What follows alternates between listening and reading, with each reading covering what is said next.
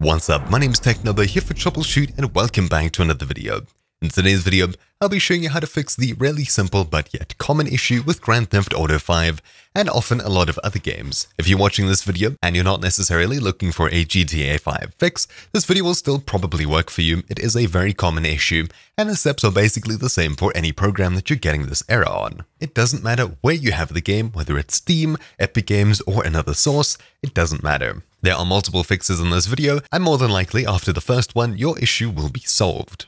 So our first solution is to simply reinstall DirectX, but usually that's not enough. We need to go ahead and delete a specific file out of our Windows folder that often causes issues and seems to be the file that breaks the most with DirectX.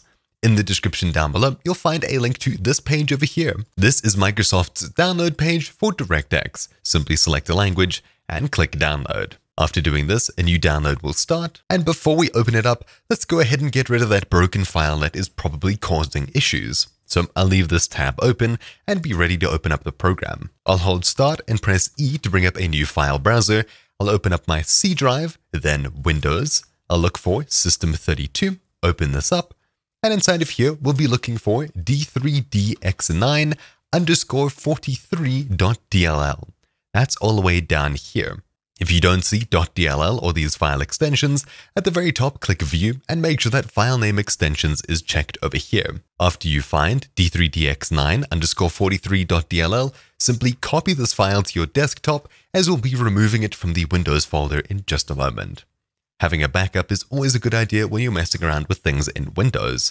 Simply select this file and only this file and press delete on your keyboard. When prompted, hit yes. Simply reinstalling wouldn't repair corrupt files by default, or at least not this one which is most commonly the issue causing DLL. I'll open up the file we just downloaded, I'll accept to the license agreement, next, I'll untick the Bing bar, next, as you can see it's prompting me that I'll need to do a small download, I'll click next, and the download should begin, then it'll start installing DirectX. Super simple.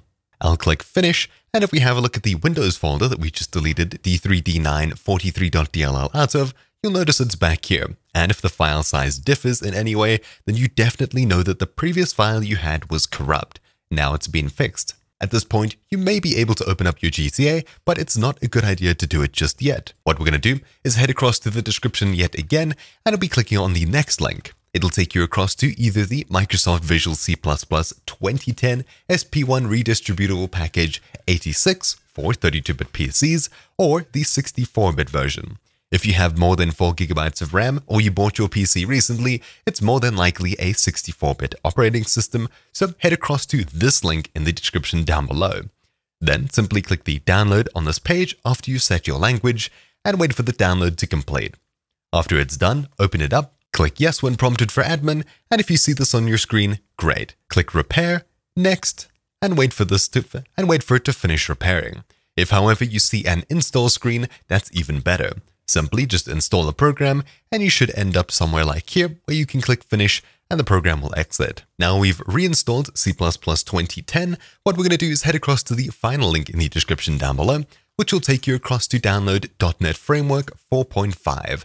Simply click download on this page once again, and yet again we'll end up with a file that we can open up, and you might see something like this. If you see this, the installation is already complete and doesn't need to be run again. However, if you have the opportunity to click continue, do that and follow through with the installation instructions. If you see this, don't worry about it, it's already installed on your computer.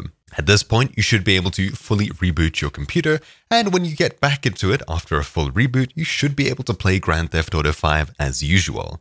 But anyways, that's about it for this video. Thank you for watching, name's been taken over here for TroubleChute, and I'll see you all next time. Ciao!